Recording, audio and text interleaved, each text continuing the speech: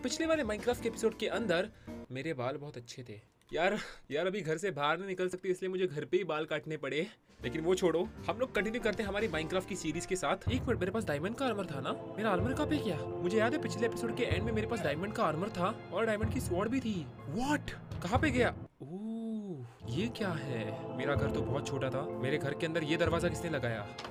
और ये दरवाज़ा चाहता कहाँ पे है? यहाँ पे बहुत सारे दरवाजे हैं और दरवाजों के अंदर और दरवाजे हैं। यहाँ पे एक दरवाज़ा है, यहाँ पे एक दरवाज़ा है, यहाँ पे एक दरवाज़ा है। आगे दरवाज़ा नहीं है। इसके आगे दरवाज़ा नहीं है और नीचे पूरा अंधेरा है। मुझे समझ नहीं आ रहा मेरे घर के अंदर ये किसने किया है। मैंने तो नहीं किया, सच्ची, मैंने कुछ नहीं किया। क्या मुझे यहाँ से छलांग लगानी चाहिए? मुझे मालूम नहीं कि नीचे क्या होने वाला है, लेकिन हम मर्द है। मर्द को दर्द नहीं होता। लेट्स गो नीचे पानी था, लेकिन यहाँ पे पूरा अंधेरा है। ओ ये क्या है? गाइज़ ये क्या है? ये ये दरवाज़ा यहाँ पे किसने रखा?